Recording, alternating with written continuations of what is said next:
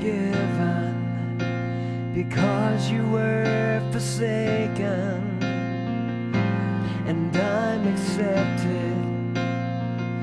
You were condemned, and I'm alive and well. Your spirit. Father, we're th- so thankful to you that we once again can just listen to your voice through your word.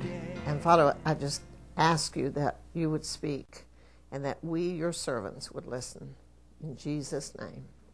We're going to um, talk about the cross this afternoon because um, the cross, Jesus is the center of everything in our Christian life. And the cross and resurrection life have to always be the focus. New Agers are coming in to Christianity in an awesome, with an awesome invasion. And they will say, they will talk about and teach very well about everything except the cross.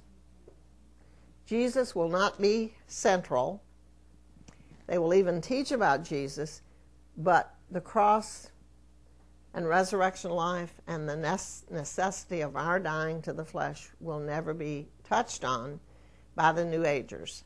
And, and the New Agers will be so in agreement with the harlot church system that much of what causes megachurches to grow is all the emphasis on self.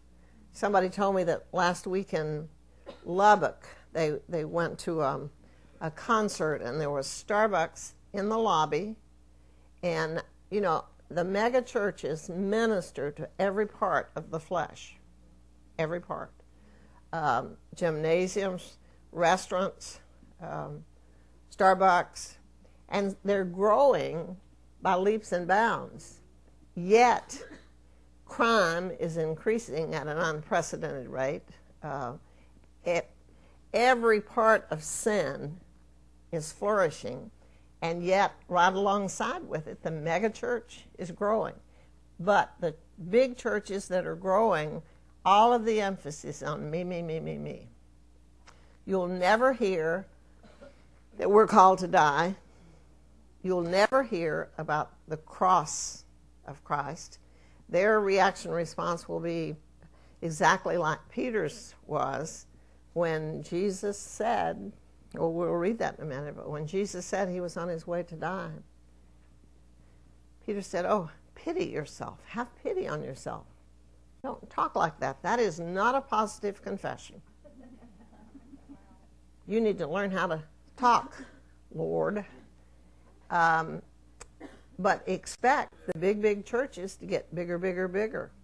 But expect fewer to be finding the way to life. And, and that's sad, but it's just, it's the truth. And so we're going to look at some scriptures on the cross. Um, starting in, in Matthew 10, um, verse 1 And when he had called unto him his twelve disciples, he gave them power over unclean spirits to cast them out and to heal all manner of sickness all manner of disease. Verse 8 Heal the sick, cleanse the leper, raise the dead, cast out devils. Freely you have received, freely give. Verse 16 Behold, I send you forth as sheep in the midst of wolves. Be therefore wise as serpents and harmless, but that means unmixed as doves. Why would he say that about doves? Many of you know a dove has only one mate for life, and it's said that in the scripture, I think, that a dove is single eyed. And so he says, be as unmixed as doves. Whatever we mix in with the gospel renders the gospel of no effect. But beware of men, for they will deliver you up to the councils, and they will scourge you in their synagogues, and you shall be brought before governors and kings for my sake. I want to talk about a minute that being scourged in synagogues. I was saying at lunch that there's so many rabbit trails that I could go off on having to do with experiences. But um, when when Milt was being used mightily, uh, uh, John Bisagno was pastor of First Baptist Church in Houston, and a lot of his deacons got set free. And uh, he wrote a book that was really against Milt called Strange Doctrine. I have found it so funny that a woman, Beth Moore, I mean, eventually John, I guess, was voted out as pastor. A woman, Beth Moore, began teaching people by the thousands in that big auditorium where John Bisagno had preached against Milt. And much of what she teaches are the same truths that John Bisagno was calling strange doctrine. And Evelyn was just telling me that a young man without any credentials who was over um, at A&M preaching uh, just to young people, to students, is now the pastor of that church. 34 year old with no credential. You know what? God, man says, man does, but God has the final say. Isn't that wonderful? So we just need to not get our eyes on what's going on and not take offense when they scourge you in their synagogues. We just need to keep on keeping on and expect persecution and know if we're not getting persecution, it's probably because we're not obeying Him boldly. And you shall be brought before governors and kings for my sake, for a testimony against them and the Gentiles. But when they deliver you up, take no thought how or what you shall speak, for it shall be given you in that same hour what you shall speak. For it is not you that speak, but the Spirit of your Father which speaks in you. And the brother shall deliver up the brother to death, and the father the child, and the children shall rise up against their parents and cause them to be put to death. And you shall be hated of all for my name's sake but he that endures to the end shall be saved. Now, uh, Jesus said that three times in his teaching. Do you think that was an error? Why do most, why do many people hate to hear that? Because we like a doctrine that says since we got our ticket punched, if we decide to be Lord of our own life, that we're still going to go to heaven the flesh likes that fire insurance policy. But Jesus said three times, that is the one who endures to the end who will be saved. That endurance means you just stay under his teaching, you stay under his lordship, you don't um, apostatize um, by saying he's not the way, and you don't just fall away um, which are different words, um, you just keep being a dumb sheep, following the shepherd. Sometimes we don't like the path he takes us on. So what? He's Lord. Amen. But when they persecute you in this city, flee you unto another. For verily I say unto you, you shall not have gone over the cities of Israel till the Son of Man be come. The disciple is not above his master, nor the servant above his Lord. It is enough for the disciple that he be as his master and the servant as his Lord. If they've called the master of the house Beelzebub, how much more shall they call them of his household? You know, in many traditional churches, you are just fine until you start messing with demons. See, even that the religious people in Jesus' day, there had been healings before Jesus came. But when Jesus came, they said, nobody has ever, ever done this before. Nobody has ever had authority over demons before. And I'll tell you, the demons in people sure do rise up against you when you start talking in lots of circles about demons. And they will say that your master is Beelzebub. It's a dangerous thing to attribute the work of God to demons. Extremely, extremely dangerous. Fear them not, therefore, for there is nothing covered that shall not be revealed, and hid that shall not be known. What I tell you in darkness, speak ye in light, and what you hear in the ear, preach ye upon the housetops. And fear not them which kill the body, but are not able to kill the soul, but rather fear him which is able to destroy both soul and body in hell. Are not two sparrows sold for a farthing, and one of them shall not fall on the ground without your Father? But the very hairs of your head are all numbered. Fear ye not, therefore, you, you are of more value than many sparrows. Whatsoever therefore shall, whosoever therefore shall confess me, and that word is homologio, which means say the same word before men, him will I say the same word about before my Father which is in heaven. But whosoever shall deny, and that deny means contradict me, contradict or disavow or reject. Whosoever shall deny me before men, him will I also deny before my Father which is in heaven. That's an interesting word. That second uh, uh, deny um, means it's two words. One is not, and the other one is pouring forth as water to speak, to say. So, what God wants us, uh, I mean, He wants us to be being poured forth as water, what He's put in us. And any time that's stopped up, we're disowning, disavowing, contradicting him. And he's going to be doing the same thing before our Father. Think not that I am come to send peace on earth. I came not to send peace, but a sword. For I am come to set a man at variance against his father, and the daughter against her mother, and the daughter in law against her mother in law. And a man's foes shall be they of his own household. He that loveth father or mother more than me is not worthy of me and he that loveth son and daughter more than me is not worthy of me. And he that taketh not his cross and followeth after me is not worthy of me. He that findeth his life shall lose it. And that lose it means destroy it. And he that loses, destroys his life for my sake shall find it.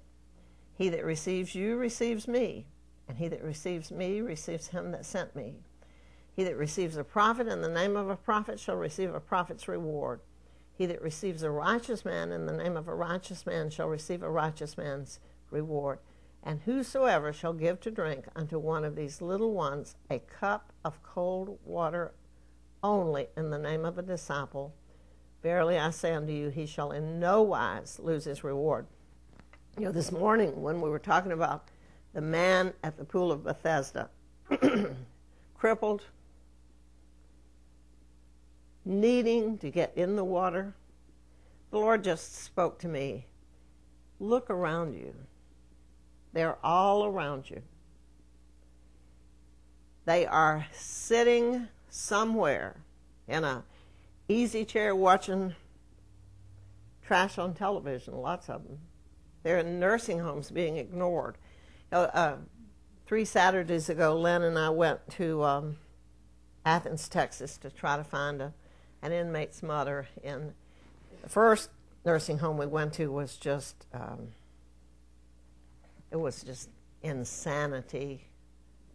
Uh, right you know, it was just terrible. The second one was a little more sedate, but these older people just saying all sorts of things. But there was one just really refined little lady, and she was standing up against the wall next to the receptionist area. And she was just saying, I'm so afraid. I'm so afraid to die. Well, I'm so afraid. I'm afraid of everything. I'm so afraid to die. Can you save me? I'm telling you, I mean, we were just going in and going out, and in just a matter of seconds, heard that. And later I said, Lynn, do you think we missed the Lord? Do you think that, that we should have stayed or we should have gone back? And I still don't know if we missed him or not. But I know the Lord was saying, they're all over like that. I'm so afraid. I'm so afraid of everything. I'm afraid to die. Can you save me? I thought, Lord, open our eyes, open our ears. Don't let us become so busy with non essentials that we keep walking right past them. And they've been there 38 years waiting for somebody to bring the water to them. And you know, most of those people in nursing homes have been abandoned. And it breaks your heart to go in, and it's not, in many respects, it's not pleasant ministry time. But if in a lifetime of going in, you could find one of those, and if you could convince her because of Jesus, she doesn't have to be afraid anymore. I'm telling you, Jesus would prize that very highly. That's why it's so important that we redeem the time, our time, because the days are evil. That we not let anything just become a time waster. That our cry to the Lord is, Lord, Show me. Let your eyes look through my eyes so my eyes are looking at what you want to look at. Let me hear what you want me to hear. And then cause me to act as you everywhere that you want to go. The living water. They're all around us. Chapter 16. 21 From that time forth began Jesus to show unto his disciples how that he must go unto Jerusalem and suffer many things of the elders and chief preachers and scribes, and be killed, and be raised again the third day. You know, Peter totally missed out on be raised again the third day. Then Peter took him and began to rebuke him, saying, be it far from thee, Lord, is what King James says, and the margin says, Pity thyself. This, this is not God's will for you. This shall not be unto thee. But he turned and said unto Peter, Get thee behind me, Satan, for thou art an offense unto me, for thou savorest not the things that be of God, but those that be of men. Then said Jesus unto his disciples, if any will come after me, let him deny himself. That deny himself means disown himself and take up his cross and follow me. For whosoever will save, and that means protect, whosoever will protect his life shall destroy it fully. But whosoever will destroy his life fully for my sake shall save it. For what is a man profited if he shall gain the whole world and lose his own soul, destroy fully his own soul? Or what shall a man give in exchange for his soul? For the Son of Man shall come in the glory of his Father with his angels, and then he shall reward every man according to his works. Mark 8.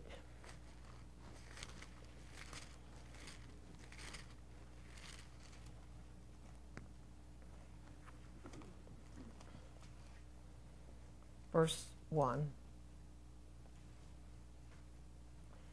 In those days, the multitude being very great and having nothing to eat, Jesus called his disciples and saith unto them, I have compassion on the multitude. If, if as you're reading the word, every time you see that Jesus had compassion, he moved. Compassion moved him. The scheme of the enemy in us is to get our hearts hardened through being hurt or through, through busyness or unbelief. So he shuts up our bowels of compassion so that we don't look at people the same way that Jesus sees them. We don't hear their cry when they're crying out uh, for help. So just begin to see in the Word every place that Jesus had compassion. He did something as a response to his own compassion. And he's still doing that as we listen to him. And if when he, we're still enough to let him speak to us and give us compassion for someone, you can know that that's where he's going to do a miracle. If we'll just take the time to um, have compassion where he is. If I, if I send them away fasting to their own houses, they will faint by the way, for divers of them come from far. And his disciples answered him, From whence can a man satisfy these with bread here in the wilderness? And he asked them, How many loaves have you? And they said, Seven. And he commanded the people to sit down on the ground, and he took the seven loaves and gave thanks, and brake, and gave to his disciples to set before them. And they did set them before the people. And they had a few small fishes, and he blessed and commanded to set them also before them. And they did eat and were filled. And they took up of the broken meat that was left seven baskets. And they that had eaten were about four thousand. And he sent them away. I don't think I want to keep reading with that. It's all good, but um, look in John 6 and we'll see what the the lesson that I mean Jesus was always more about about more than was visible. And he was showing us the spiritual truth there with the breaking of the bread. John 6 verse 35. And Jesus said unto them, I am the bread of life. He that cometh to me shall never hunger, and he that believeth on me shall never thirst. 38 For I came down from heaven not to do my own will, but the will of him that sent me. And this is the Father's will which has sent me, that of all which he has given me I should lose nothing, but should raise it up again at the last day. And this is the will of him that sent me, that everyone which sees the Son and believes on him may have everlasting life, and I will raise him up on the last day. What if it is the will of the Father that someone see Jesus in you today and that he would see Jesus in you in such pure love that he is able to believe on Jesus, to believe that he is God in the flesh, and to believe that he loves that person. What if that is God's will for you today? And it is. But can't you see why there is such a war against us to not have a countenance that people can approach? God corrects me about that all the time. If I'm busy, if I'm tired, he'll say, a lot of times he'll say to me, think about how you look to others. I wouldn't want to approach me.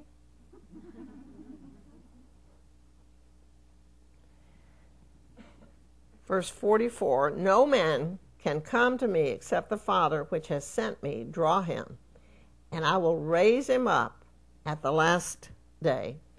47 Verily, verily, I say unto you, he that believes on me has everlasting life. And of course, all of you, I'm sure, know that that believe is not like I believe in George Washington. It's rely on, cling to, trust in. It's believe enough that I'm casting my whole being upon him.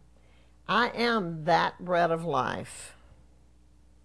Your fathers did eat manna in the wilderness and are dead. This is the bread which cometh down from heaven, that a man may eat thereof and not die.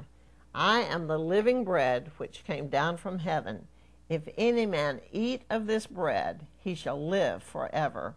And the bread that I will give is my flesh, which I will give for the life of the world. I was driving across country one time and listening to John listened to the Bible on tape. And I heard Jesus say that. And I said, What? As a little cumbersome in the King James, but he says, The bread which I will give for the life of the world is my flesh. And he was talking about going to Calvary and dying. But God shouted in my ear, The bread that you give for the life of those to whom I send you is your flesh. Laying down your life over and over and over.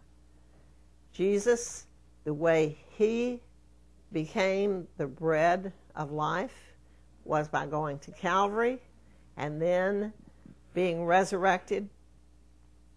And the way that we give others the bread of life is by laying down our life in this flesh for them as God directs us. It's not ever going to get any more complicated than that. The bread that I give for the life of the world, of my world, is my flesh.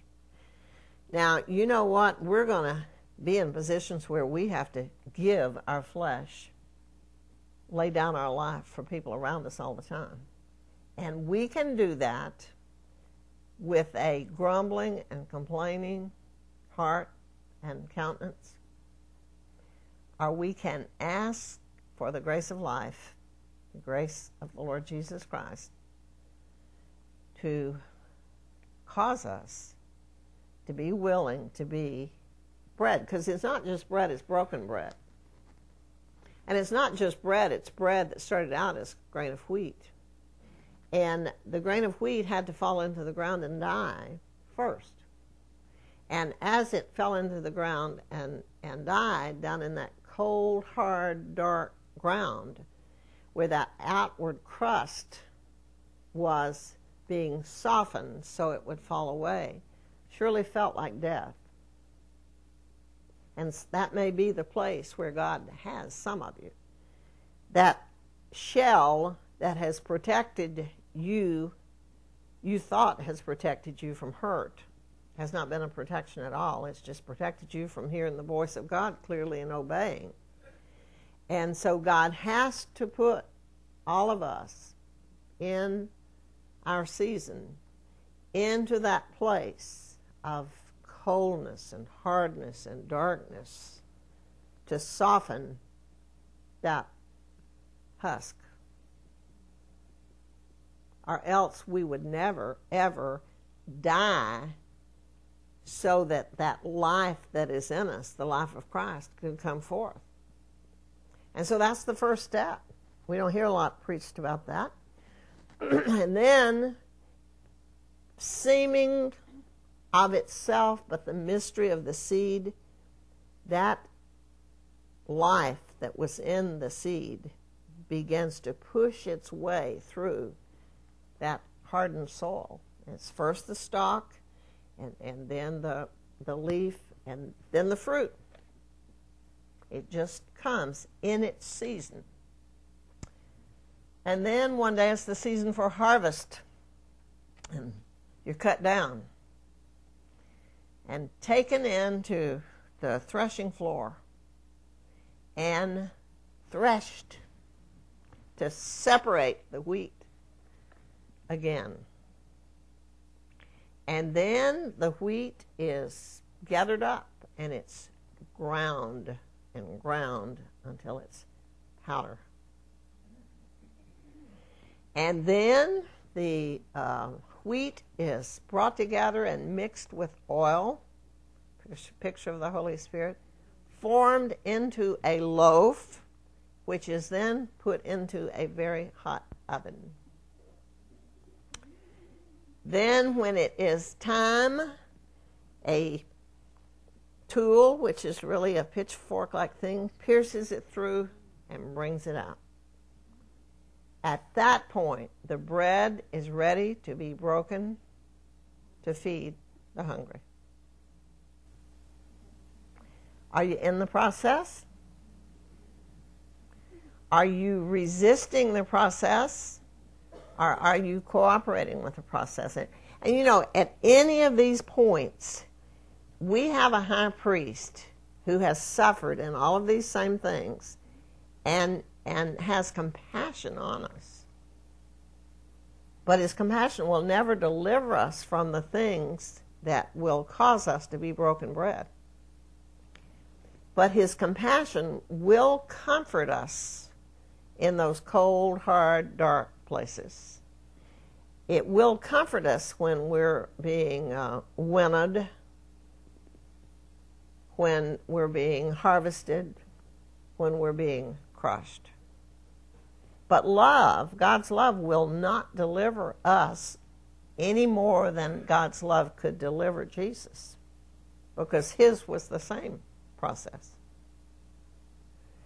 And so you have to um, make up your mind that you're going to hear the full call of God. That's why that's why Jesus said if you if you're going to come, you have to deny, you have to disown yourself. And you have to take up a cross which is going to lead you to crucifixion. Crucifixion always comes at the hands of others. It is it is one death that can never be self imposed because you have to have another person to nail the nails in. And somehow, I guess we all wind up with that one that is uniquely qualified to kill us. Now, I promise you that if you find a way to get down off of that cross, the next one may be like Peter's and be upside down. Because if we're going to be what He's called us to be, the water of life that goes to that man by the pool of Bethesda, are the bread of life to feed these hungry. There's only one way to get there and that's through death. And is it just once? No. No, as all of you know, it goes on and on and on because the um, the flesh has a strange resiliency. It revives it comes back demanding more than it did before. It comes back with self pity stronger. It comes back blaming God.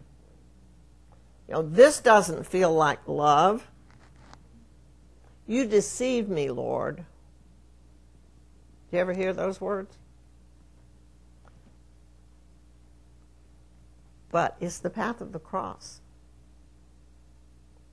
It was for Jesus, the captain of our salvation, and if he was made perfect through suffering, if he had a better plan, don't you think he would use it? But it's the same for each one of us. The path of suffering.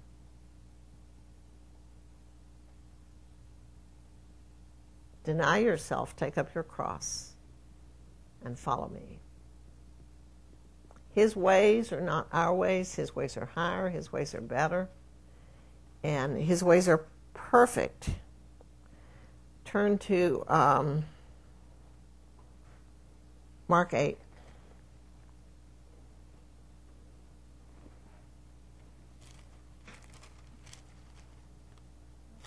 Twenty-seven.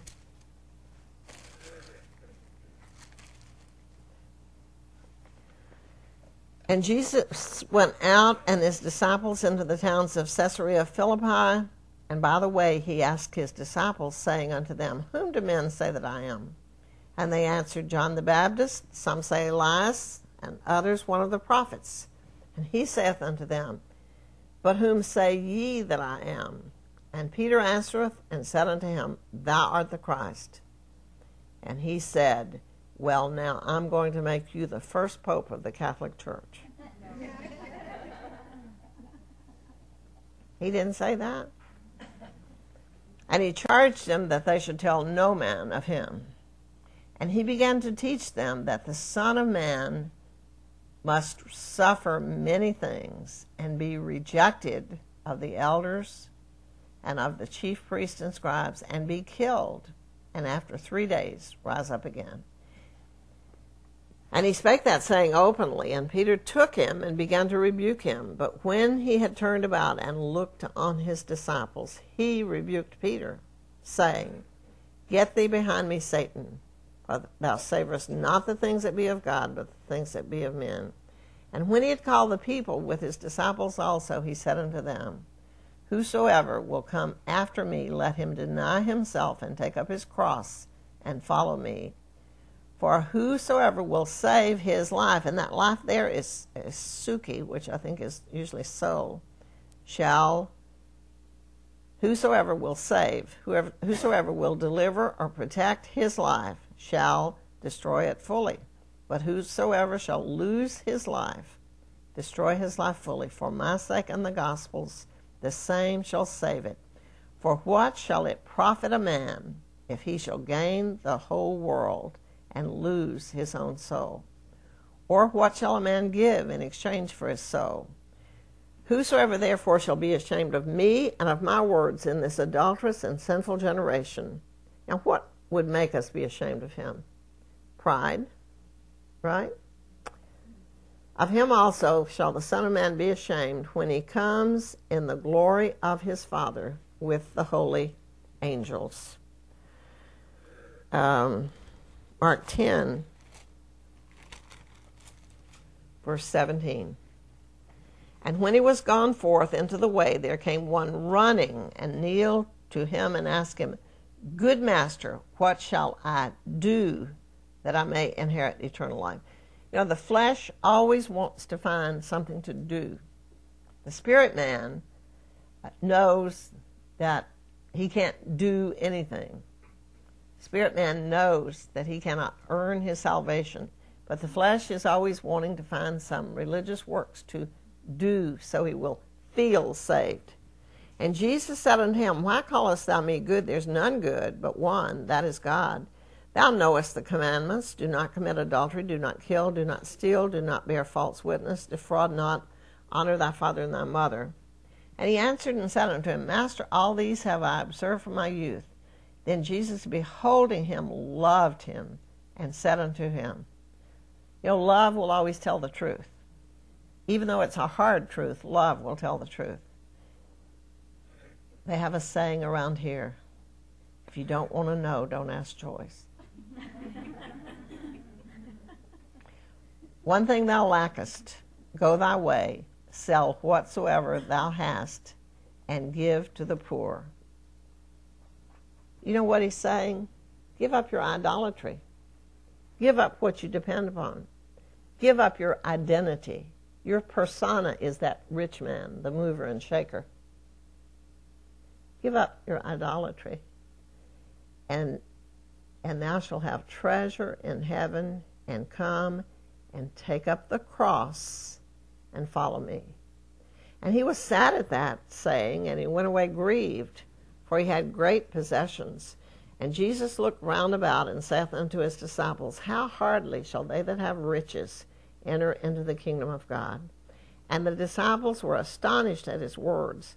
But Jesus answereth again and said unto them, Children, how hard it is for them that trust in riches to enter into the kingdom of God. It is easier for a camel to go through the eye of a needle than for a rich man to enter into the kingdom of God. And they were astonished out of measure, saying among themselves, Who then can be saved? And Jesus, looking upon them, saith, With men it is impossible, but not with God. For with God all things are possible. Then Peter began to say unto him, Lo, we've left all and have followed thee. And Jesus answered and said, Verily I say unto you, that there is no man that has left house or brethren or sisters or father or mother or wife or children or lands for my sake and the gospel's, but he shall receive a hundredfold now in this time houses and brethren and sisters and mothers and children and land with persecution, and in the world to come, eternal life. And they were in the way going up to Jerusalem, and Jesus went before them. And they were amazed, and as they followed, they were afraid. And he began again to tell the twelve. And he, he took again the twelve and began to tell them what things should happen unto him, saying, Behold, we go up to Jerusalem, and the Son of Man shall be delivered unto the chief priests, to the scribes, they shall condemn him to death, they shall deliver him to the Gentiles, and they shall mock him, and shall scourge him and shall spit upon him and shall kill him. And the third day he shall rise. It's funny to me every time he says that, they miss. And the third day he shall rise. And James and John, the sons of Zebedee, came unto him, saying, Master, now can you imagine this conversation? Master, we would that thou shouldest do for us whatsoever we shall desire. And he said unto them, what would ye that I should do for you? They said to him, Grant unto us that we may sit, one on the right hand and the other on the left hand, in thy glory. But Jesus said unto them, You know not what you ask. Can you drink of the cup that I drink of, and be baptized with the baptism that I'm baptized with? And they said, We can. And what did they all do? They ran away. Verse 43, well, starting but 42, but Jesus called them to him and saith unto them, You know that they which are accounted to rule over the Gentiles exercise lordship over them, and their great ones exercise authority over them, but so shall it not be among you. But whosoever will be great among you shall be your minister and whosoever of you will be the chiefest shall be the slave of all. For even the Son of Man came not to be ministered unto, but to minister, and to give his life a ransom for many. You know, he, he doesn't um, give us a, he doesn't deceive us about the gospel. Know, from from start to finish, it's always the same. Count the cost, and the cost is it's going to cost you everything. Um, that's why he said in one place, strive to enter in the narrow gate. And that strive means agonize because we've continually got to be dealing with other things in our life, things we've got to, to um, give up.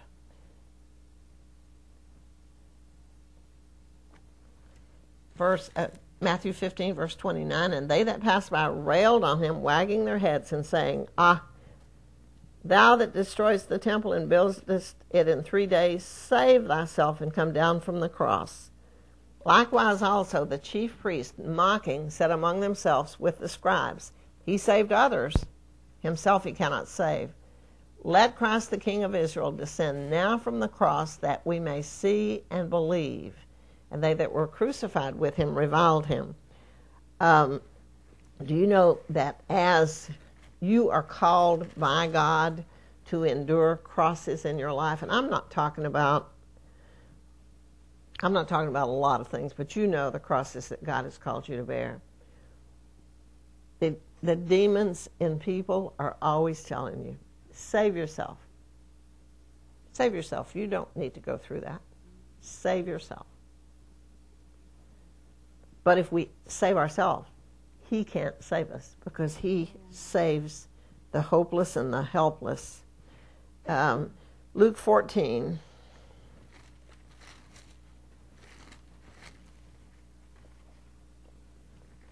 Starting in verse 7. And he put forth a parable to those that were bidden when he marked how they chose out the chief rooms, saying unto them, When thou art bidden of any man to a wedding, sit not down in the highest room, lest a more honorable man than thou be bidden of him. And he that invited you come and say to you, Give this man place. And you begin with shame to take the lowest room. But when you're invited, go and sit down in the lowest place, that when he that invited you comes, he may say unto thee, Friend, go up higher. Then shall thou have glory or worship in the presence of him that sits at meat with thee. For whosoever exalts himself shall be abased, and he that humbles himself shall be exalted. Then said he also to him that invited him, When you make a dinner or a supper, don't call your friends, nor your brethren, nor your kinsmen, nor your rich neighbors, lest they also bid thee again, and a recompense be made thee. But when thou makest a feast, call the poor, the maimed, the lame, and the blind, and thou shalt be blessed. For they cannot recompense you, for thou shalt be recompensed at the resurrection of the just.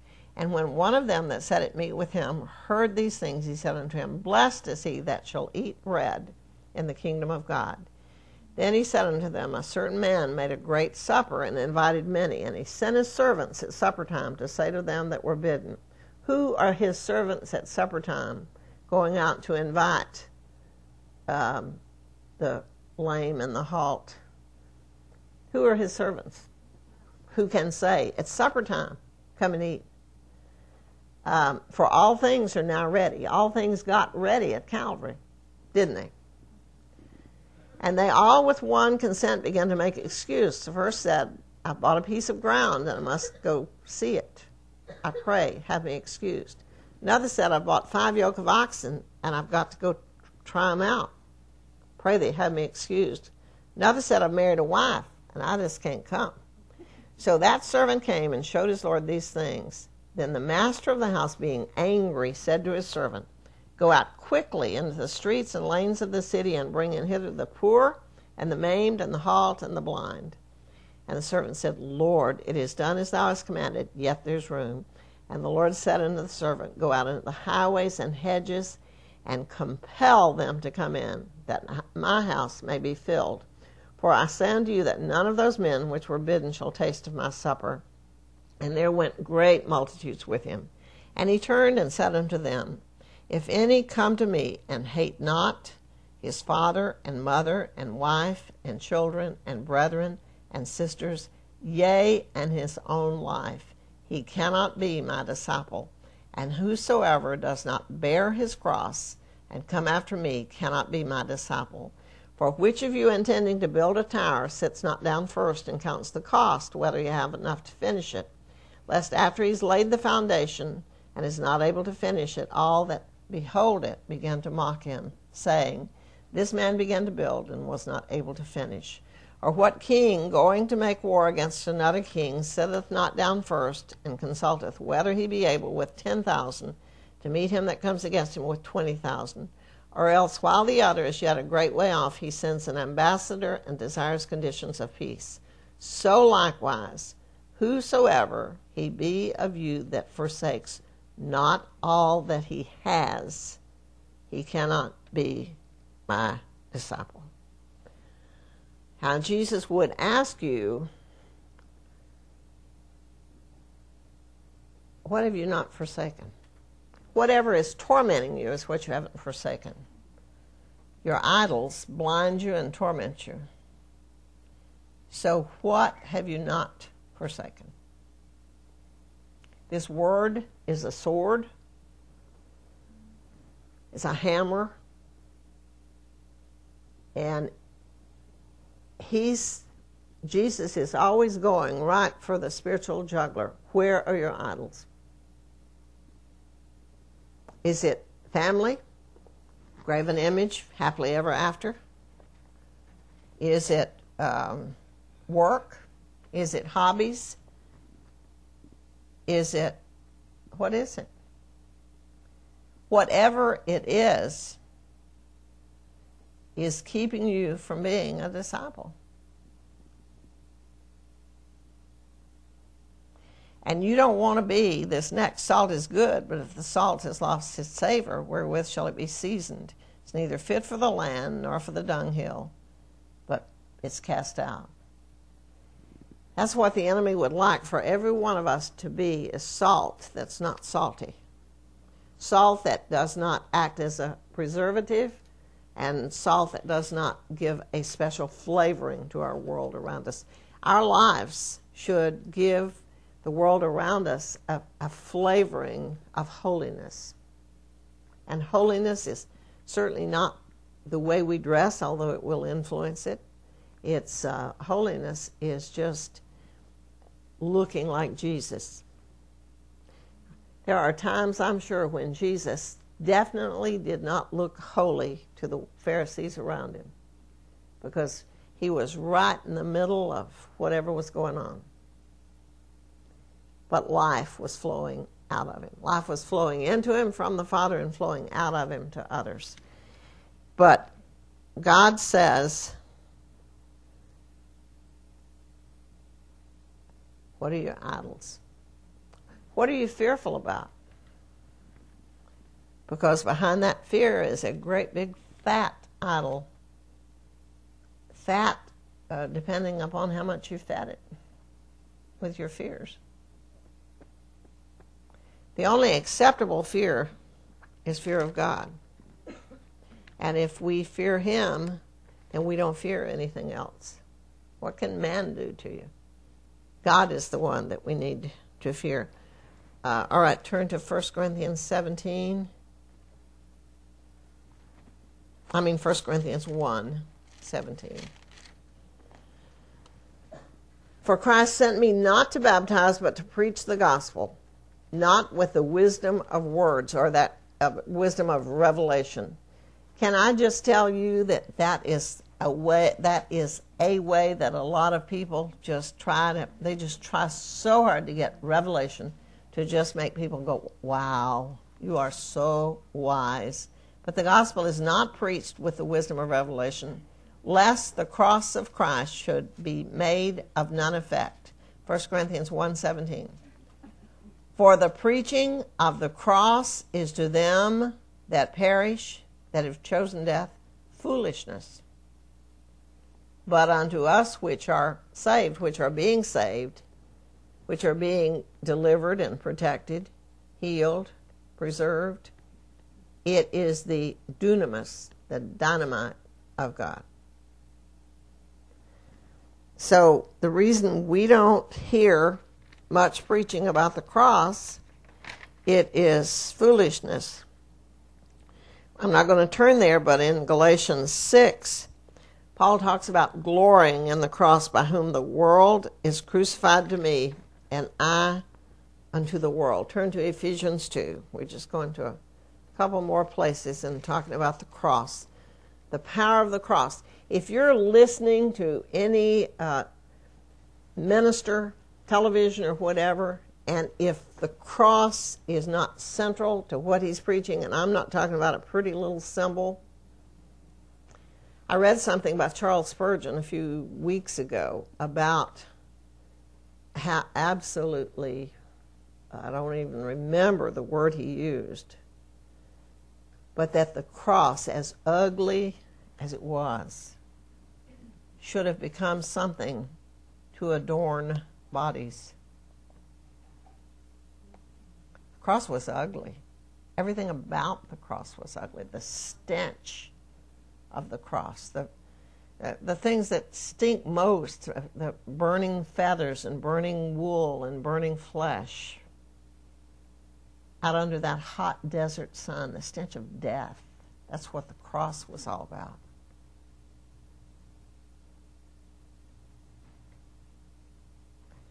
It's not an ornament of decoration. And I know that some of you are saying, ouch, or I don't receive that. Well, you don't have to receive it. Ask Him. Ask Him. All right? Um, Ephesians 2, starting in verse 12, that at that time you were without Christ, being aliens from the commonwealth of Israel and strangers from the covenants of promise, having no hope and without God in the world.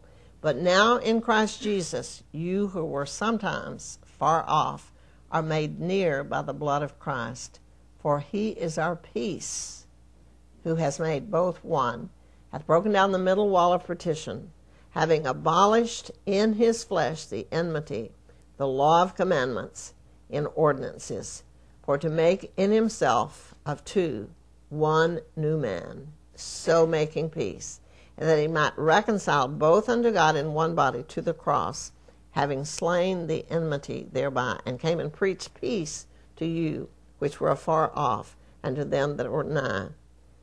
For through him we both have access by one Spirit into the Father. Let's stop just for a minute before I read on about our being no longer strangers and foreigners. How can he bring peace through the cross? Because it's at the cross that we are able to have to be Uh, for our sins to be washed away and for our conscience the guilt of our sin to be cleansed through the blood of the cross. The only way we can have peace is when we can know that every rotten, sinful, despicable thing that we've ever done, Jesus took it on the cross. He became sin. He who knew no sin became sin that we might become the righteousness of God in him. And so the only way we can have peace is to know I am forgiven and I can forgive myself. That was not me who did all those things. That was the old man who was crucified with Christ over 2,000 years ago. And that old man is dead, and I am one new person in Christ because of the cross. So that's how we can have peace through the cross, by which the world is crucified to me. I am now, therefore, you're no more strangers and foreigners, but fellow citizens with the saints and of the household of God, and are built upon the foundation of the apostles and prophets, Jesus Christ Himself being the chief cornerstone, in whom all the building fitly framed together grows into a holy temple in the Lord, in whom you also are built together for a habitation of God through the Spirit. I want us to look um, at Colossians 2. Yeah, this is just one of my favorite scriptures to um, that just puts the lie to the fact, puts the lie to the thought that we can get our tickets punched and live like we want to and go to heaven. That we can have heaven and live sinfully here, choose to live sinfully here. Uh, Colossians 2, verse um, hmm, 21. All of it's good, but I won't read all of it. Um, and you that were enemies, you you that were sometimes alienated and enemies in your mind by wicked works, Yet now hath he reconciled in the body of his flesh through death to present you holy and unblameable and unreprovable in his sight, if you continue in the faith, grounded and settled, and be not moved away from the hope of the gospel. What is the hope of the gospel? That we'll be just like Jesus. That God wanted many children just like Jesus, and that we are being daily conformed into the image. I'm sorry, I said Colossians 2 and I meant to say 1. Now you want to go back, you want me to read all of it again? Okay, now that you're with me, Colossians 1. You all need to keep up. and you that were sometimes alienated and enemies in your mind by wicked works, Yet now has he reconciled in the body of his flesh through death to present you holy and unblameable and unreprovable in his sight, if you continue in the faith, grounded and settled, and be not moved away from the hope of the gospel which you have heard and which was preached to every creature which is under heaven, whereof I, Paul, am made a minister. Um, Philippians 2, turn back one book. Um, 5, let this mind be in you, which, chapter 2, verse 5, let this mind be in you, which was also in Christ Jesus, who being in the form of God thought it not robbery to be equal with God, but made himself of no reputation, and took upon him the form of a servant, and was made in the likeness of men. And being found in fashion as a man, he humbled himself and became obedient unto death, even the death of the cross. Wherefore God also has highly exalted him and given him a name which is above every name, that at the name of Jesus every knee should bow of things in heaven, things in earth, and things under the earth, and that every tongue should confess that Jesus Christ is Lord to the glory of God the Father. Wherefore, my beloved, as you have always obeyed, now as not as in my presence only, but now much more in my absence. Work out your own salvation with fear and trembling. There's a scripture that I don't know where it is right now um, that says it will perform its work in you when you believe it.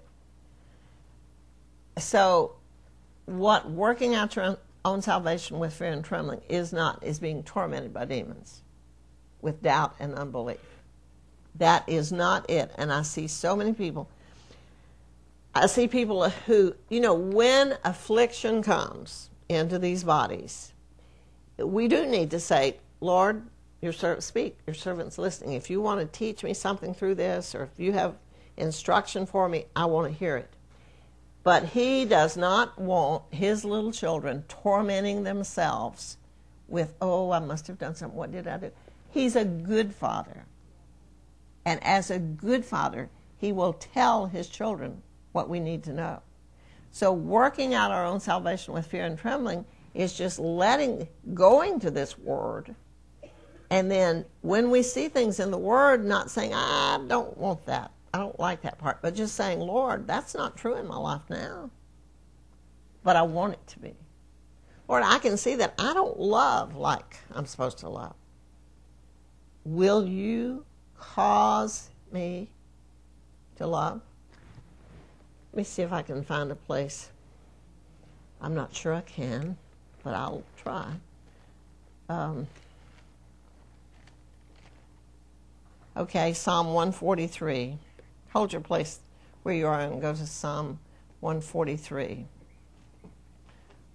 verse 7. Well, verse 5. Well, verse 4. Let's go back to 1.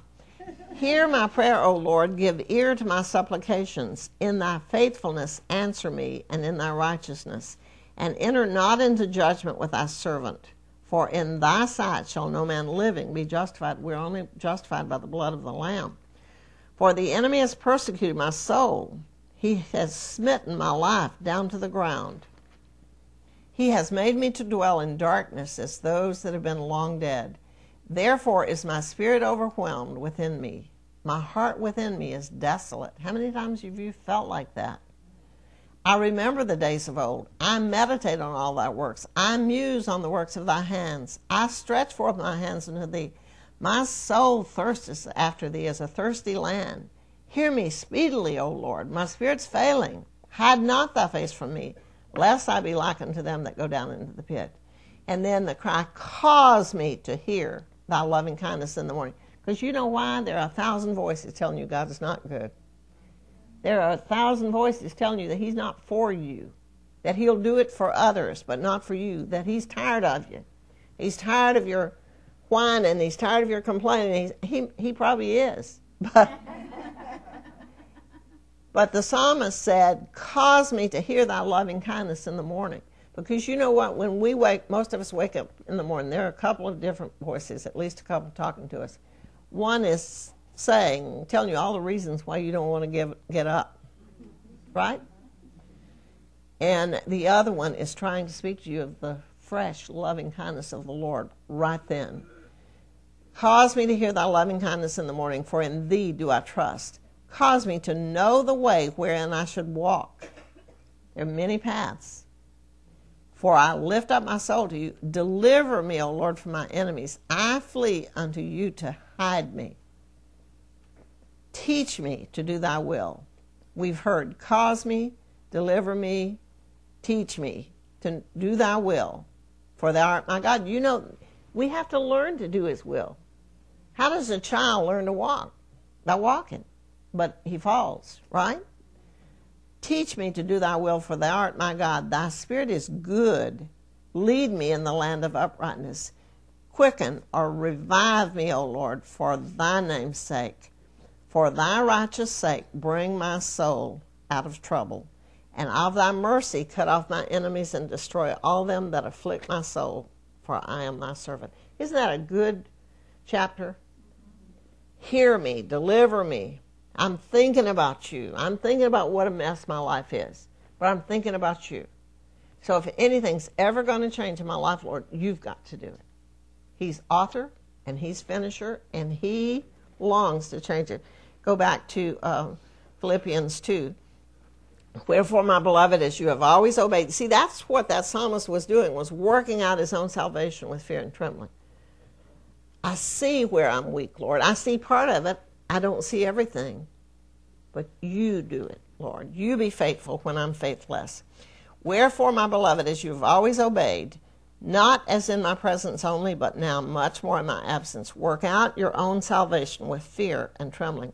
For it is God which works in you both to will and to do, to energize his good pleasure.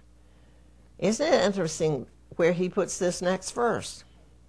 Do all things without murmurings and disputings, that you may be blameless and harmless, the sons of God without rebuke, in the midst of a crooked and perverse nation, among whom you shine as lights in the world, holding forth the word of life, that I may rejoice in the day of Christ, that I have not run in vain, neither labored in vain. All right, let's look at a little more of that in 1 Peter 2.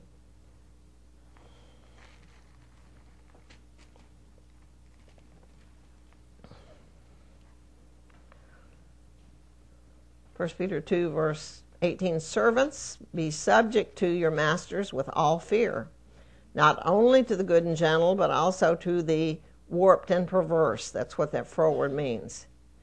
1 Peter 2, verse 18. Okay, we'll start again. Servants, be subject to your masters with all fear, not only to the good and gentle, but also to the warped and perverse. Now, you don't do their warped and perverse things. The marriage bed does not sanctify everything. Okay? If it can't make a baby, it's probably warped and perverse. Understand? It's awfully quiet.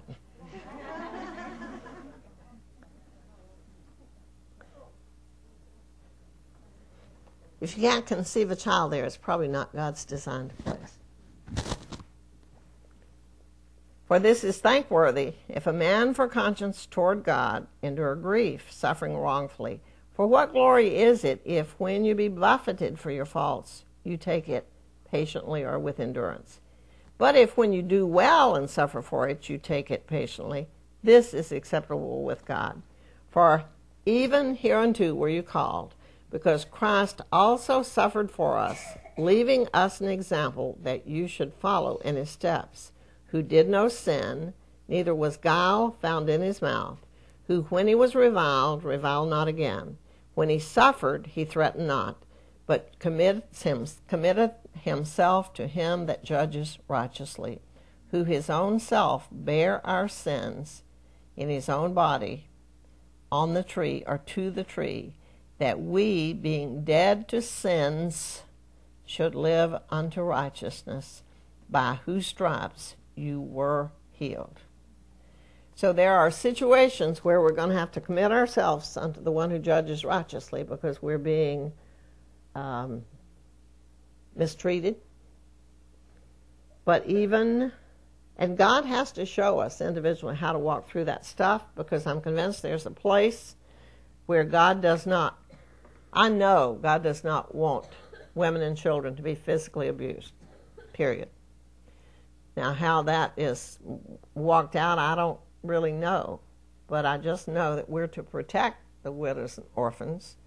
And, um, uh, but I also know that demons in women are capable of provoking a man to abuse.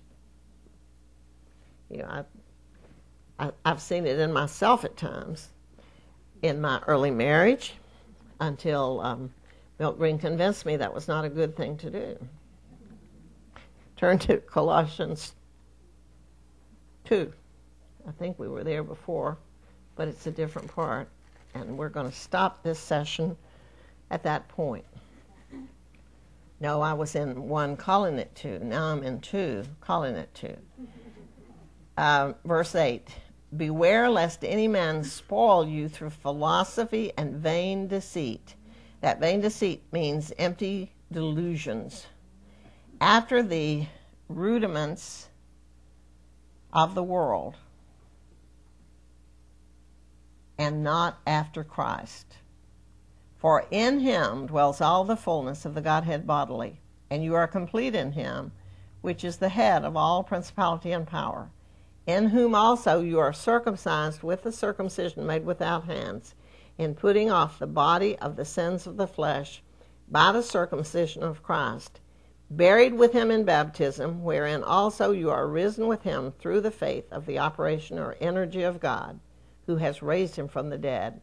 And you, being dead in your sins and the uncircumcision of your flesh, has he quickened or made alive together with him having forgiven you all trespasses, blotting out the handwriting of ordinances which was against us, which was contrary to us, and took it out of the way, nailing it to the cross. And having spoiled principalities and powers, he made a show of them openly, triumphing over them in that. And what that says to us literally in that day when Jesus Christ was crucified, if you owed me a debt, and there was a bill that you had to pay, you would pay the bill and you would pay the bill until one day it was totally paid. And then I would come to your door with that bill. I would nail it on your door and mark paid in full. That's the word that was used, that Jesus used, translated, it is finished. And every sin that you and I have ever committed Satan thought he was getting the upper hand when he killed Jesus on the cross. But at the cross was where God blotted out every transgression, every sin. Every time you ever broke the covenant, every time you ever sinned against God, every time you ever sinned against man, it was written and nailed to that cross. and God the Father wrote across Jesus, that battered body, Joyce Green's sins are finished, paid in full, and yours. Now, whether every person in the world's sins were forgiven at Calvary, not all will come by faith. Every man is locked up in a prison house before Calvary. And even though at Calvary, Jesus Christ took the sin of the whole world, not very many come out of the prison house and humble themselves and come the narrow way to Jesus to receive forgiveness, the forgiveness of our sins but they have been blot the let me read it again. And you being dead in your sins and the uncircumcision of your flesh has he made alive together with him, having forgiven you all trespasses, blotting out the handwriting of ordinances that was against us, which was contrary to us, and took it out of the way, nailing it to his cross. And having spoiled principalities and powers, he made a show of them openly triumphing over them.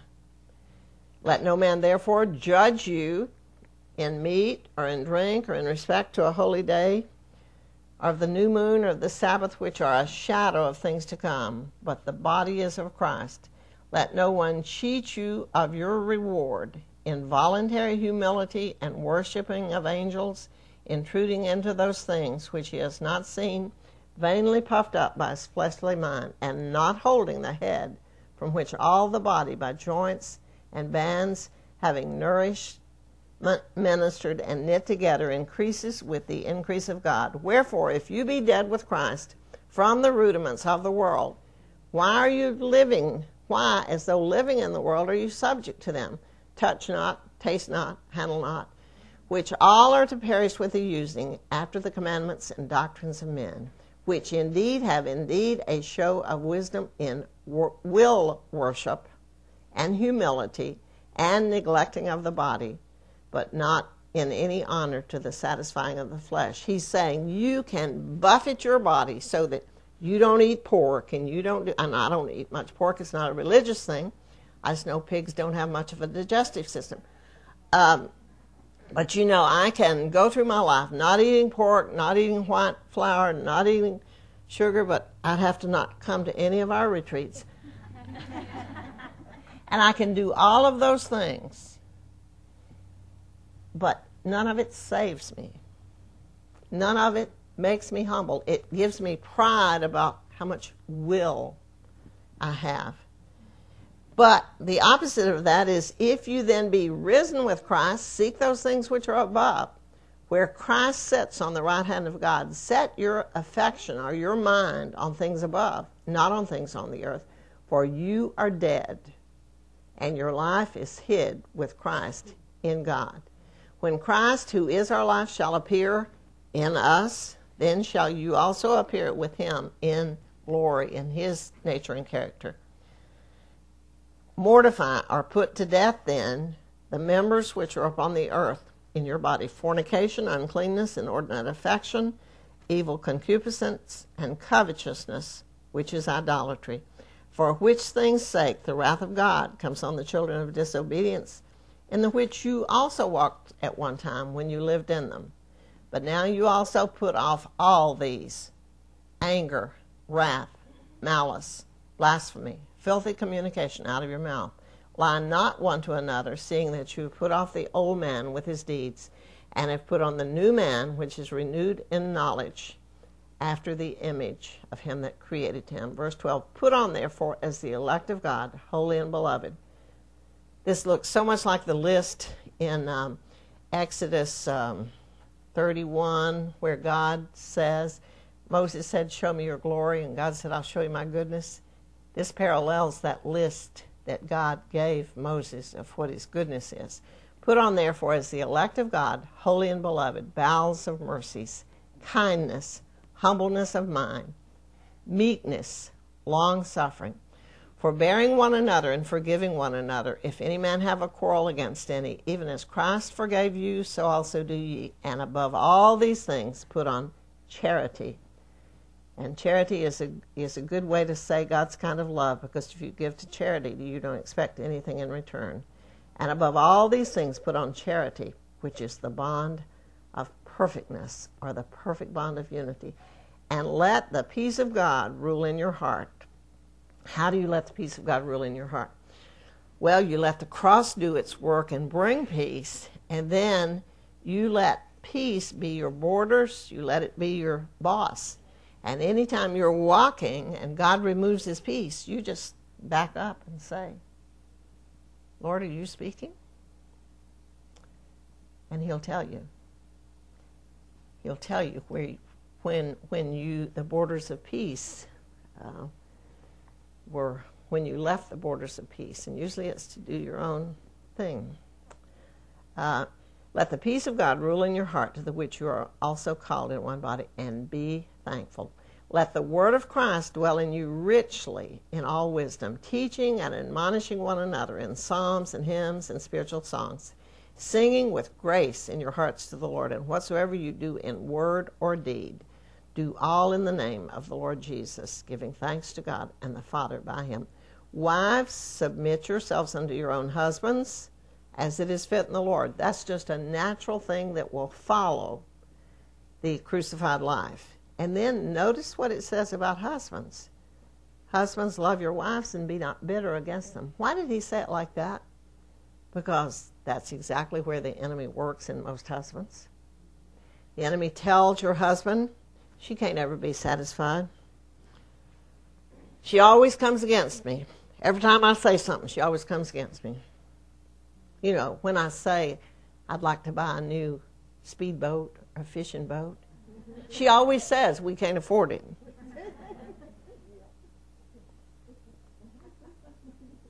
The enemy is always speaking to husbands to make them bitter against wives, and a bitter husband is not able to nurture and cherish his wife. So I used to look at that and I think, well, why did God say that there? He's not. Because that's the way the enemy always works. He always tries to work in the wives to cause them not to submit. Well, I'll submit to him when he's godly. I'll submit to him when he's nurturing, cherishing me. No. If you won't submit to him before, you won't submit to him after. Submission is a heart attitude. And the word submit means arranged in an orderly fashion under. And the opposite of being arranged in an orderly fashion under is chaos. So you'll have to ask the Lord to teach you about it, but um, He said it, and He said it, and He said it. And He said, Husbands, love your wives and be not bitter against them. And He said, Children, obey your parents in all things, for this is well pleasing unto the Lord, because He knew Children would have a hard time obeying, and he said, Fathers, provoke not your children to anger, lest they be discouraged, because he knew that the hardness in men, not balanced with the wife's uh, emotional input, insight into children, that the husband, without that, will be harsh with the children and will discourage them. And the enemy wants the wife then to run in right in the middle of it and try to referee, which is not God's position for her at all. She's just in danger of getting knocked over at that point.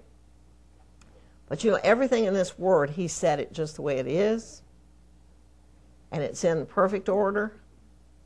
And if we will let him, if we'll cry out to him until he puts our life in perfect order according to his word, then we can that peace. Uh, one of one version says, "Let peace rule as an umpire in your heart." And we're not going to walk in peace unless we're walking in obedience to His word, letting His word and His Spirit work out His salvation in us with fear and trembling. Because you know, I mean, it doesn't matter what anybody is doing to you, you are not ever going to have to answer for what they do to you. But you will have to answer for your response. And any response except love. And you know, love manifests itself in many ways. Sometimes love does not look like love. Did you know that? That's why you've got to hear it from God, and then no matter what people say, well, that doesn't look like God, you can with confidence say, or you don't even have to defend yourself, but you can just know what you know, what you know, I heard God and I'm not moving. No flesh is going to move me and no devil's going to move me. Amen. Amazing love,